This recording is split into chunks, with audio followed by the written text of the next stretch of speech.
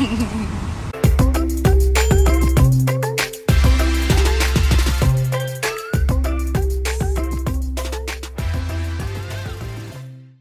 Now, Chris Kaiga and Kino, they have finally gone public with their relationship. But before we get into that, you guys already know that these fellas have been spotted several times hanging out together, courtesy Edgar Obare. But no one between them was willing to come forward and confirm that they were dating. And that was up until yesterday during Joanna Kinuthia's, you know, birthday celebration where they decided to go public with their relationship. And that was after Joanna Kinuthia shared a video of them kissing right there as you can see.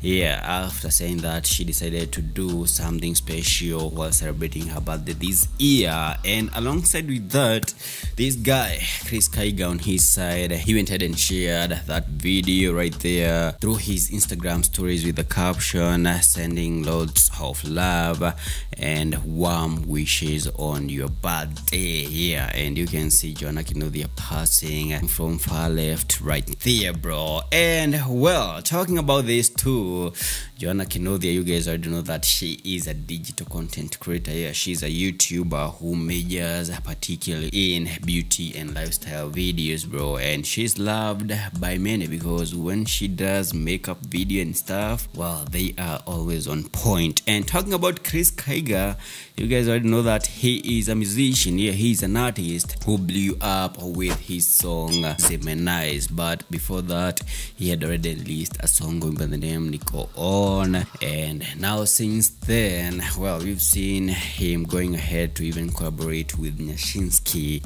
in their song by the name Hapa 2 yeah so seems like this guy Nyashinsky anaaminia Chris Kaiga so much bro but anyways man that is what's good concerning Chris Kaiga and Jonah Kinothia what can we say except to say congratulations to them and all the best. You feel me? And by the way Joanna Kinothia was turning 27 years old. Wow. And how old is Chris Kaiga? Let me check. Chris Kaiga eh?